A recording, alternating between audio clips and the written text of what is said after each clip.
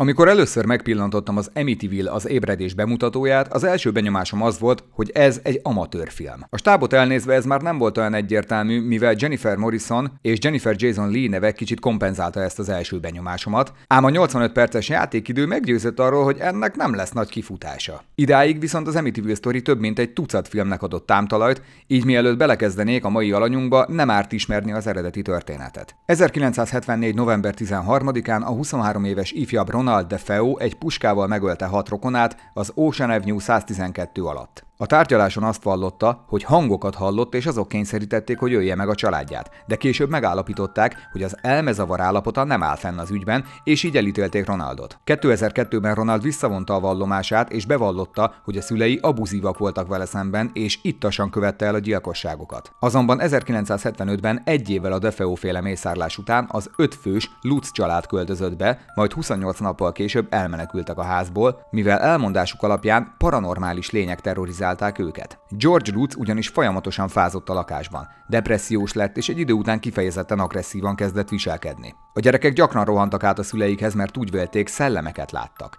Később pedig George Lutz kést ragadt, és rátámadt a családjára. Ám amikor kikerültek a házfalai közül, megszűntek a tünetek. Ed és Lorraine Warren parajelenségekkel foglalkozó csapata itt is elvégezte a kutatásokat, és infrakamerákkal képeket készítettek, ám nem találtak semmi furcsát, ezt az egy képet kivéve amit mindmáig úgy emlegetnek, mint az egyetlen képet, ami megörökítette az Amityville szellemet, és akit a legfiatalabb DeFeo gyerekként azonosítottak. Viszont később ez is vita tárgyává vált, mivel ez lehetett akár Paul Barc is, azaz a kutatócsoport egyik tagja. Bár igaz, hogy ahhoz túl alacsony. Az viszont tény, hogy rengeteg légy volt a lakásban, a szagok is nagyon erősek voltak egyes helyeken, és indokolatlanul hideg volt bizonyos szobákban, függetlenül az egyébkénti időjárástól. Valamint az is tény, hogy az ötfős Lutz család vallomásai helyenként igencsak ellentmondásosak.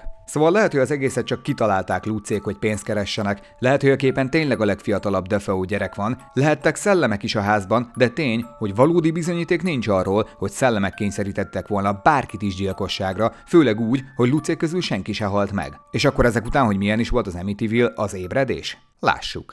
Srácok, ő Bell, az új osztály. Bell családjával új otthonukba költöznek, azaz az Amityville horrornak otthont adó házba, mivel New Yorkban van Amerika egyik legjobb neurológiai intézete, Bell Liker testvérének, Jamesnek pedig szüksége van kezelésre egy baleset miatt, amitől katatón állapotban van immáron két éve. Beköltözésük után James rohamosan elkezd felépülni, és Bellnek is furcsa látomásai lesznek. Nem telik el sok idő, mire rájönnek, a ház felébredt, és ismét vérre szomjazik. Először is megnyugtatnék minden kedves nézőt, hogy a film trélere nem lőtte el az összes poént, így bőven tartogat be ijesztést az ébredés, ami azért megér egy piros pontot. Viszont ismerve a valós eseményeket, szembeállítva ennek a filmnek a cselekményével, hát igencsak túltolták a horror részét. Persze ez egy horrorfilm, és nem is lenne ezzel baj, de nagyon is vásárinak érzem, hogy folyamatosan jumpscare elemekből dolgozott a film. Persze felvezetik a Defeo féle mészárlást, de Lucékra például már nem térnek ki. Valamint visszautalnak korábbi Amityville Civil filmekre, köztük a Ryan Reynolds félére is, amiről hát úgy tűnik megvolt a véleményük, de mégis végig úgy éreztem, hogy egyszerűen nem tudnak tovább lépni a korábbi filmek sémáin. Illetve nincs új ötlet a Defeo, illetve a Lutz féle eseményekre. Dettó ugyanazt kapjuk, mint eddig bármikor. Gonoszkodik a ház, megszáll valakit egy démon, a puska is előkerül, szóval csak ne fikázzák a korábbi Amityville filmeket, persze itt is ideg van a házban, legyek vannak itt-ott, tehát próbálták autentikusra megcsinálni, de ezt már mind láttuk. Nem érzem a proaktivitást.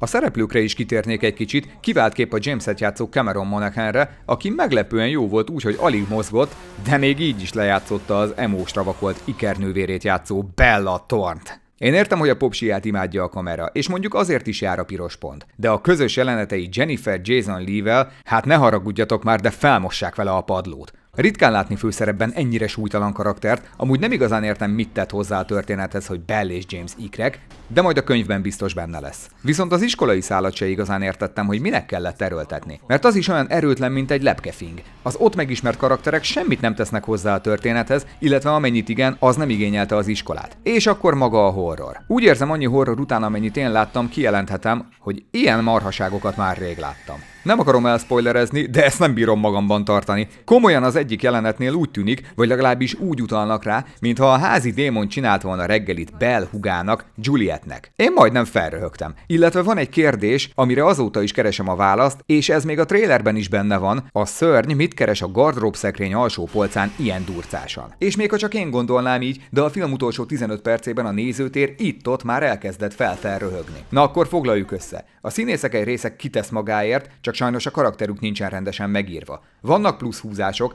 lásd vonal, meg még egy-két plusz, amiket nem lőnék el, viszont amik semmit nem tesznek hozzá a sztorihoz, hirtelen beijesztések, amik többségében kiszámíthatóak, de néha inkább viccesek, és a legfájóbb pont hogy semmivel nem kerülünk közelebb a ház rejtéjének a megoldásához. Már a bemutatóban is benne van, hogy megtalálják a vörös szobát. Oké, okay. és mi a francért jó az a szoba? Mit csinál? Lakik ott valaki? Vagy ez a ház hideg szíve? Tehát egyszerűen ez egy ötlettelen meglovagolása az eddig legyártott Amityville filmeknek. Össze lehetett volna kötni a Warren univerzummal, ki lehetett volna térni a fotóra, amit az elején boncolgattunk, vagy feldobhatták volna azzal, hogy nincs is szellem a házban, csak a városi közösségtől kattannak meg az emberek, akármi vihetett volna egy kis szint egy ilyen alapokkal ellátott történetbe. Van egy passzus, ahol elmondják, hogy lehetséges, hogy csak 40 évente támad a gonosz. Aha, jó. És?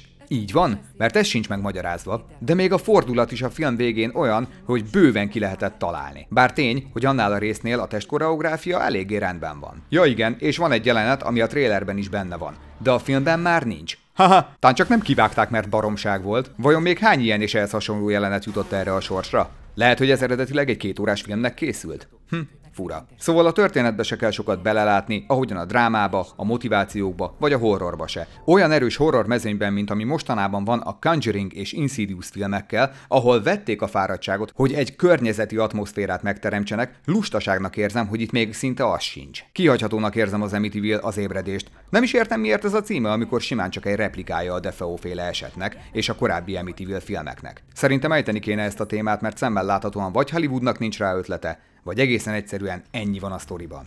Ha viszont így van, akkor ez egy méltatlan film annak a repertoárjában. Sziasztok!